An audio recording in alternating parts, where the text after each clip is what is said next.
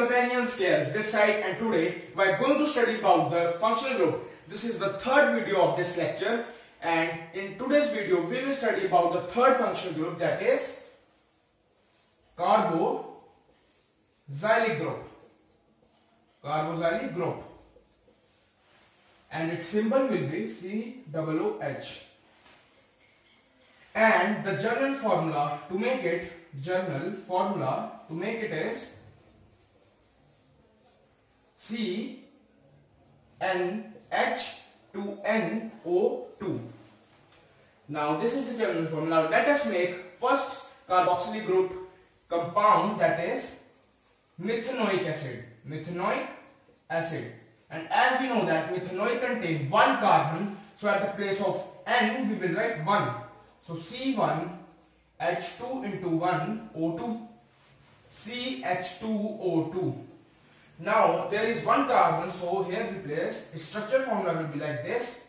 Here H double bond O, O and H. So you can see that there is one carbon, here also one carbon, two hydrogen, here also two hydrogen, two oxygen, here also two oxygen and at the end of every carbon it so here is only one carbon. Let us take ethanoic acid. At ethanoic acid, we will have two carbon. So here at the place of N, we will write 2C2H2 into 2O2. So it will form C2H4O2. So structure will be like C and C. Now we have to complete tetravalency of first carbon with H only and at the second we have to write the double bond O and OH at at every end of the of last carbon we have to write this only so that we can recognize that it is a carboxylic group. Now let us make propanoic.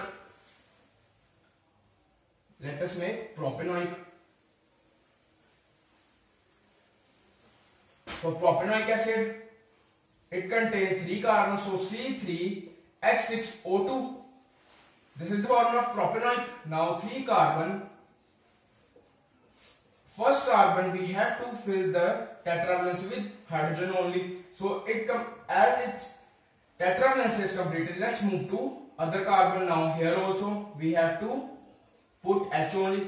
Here at the last carbon we have to do this that double bond O at upper side and OH at its side. So it is the structure form of propanoic acid. It is propo, propanoic acid. Now hope that you can make further butanoic, pentanoic, hexanoic, heptanoic acid and if you like this video give us a thumbs up and subscribe my channel and if you have any doubt regarding mathematics and science do comment below I will solve it for you. Thank you.